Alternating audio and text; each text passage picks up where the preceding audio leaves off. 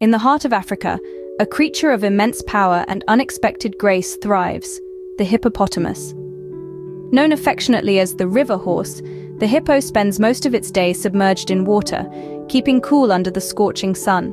With a weight that can exceed two tons, they are among the heaviest land animals, yet they glide through water with surprising agility.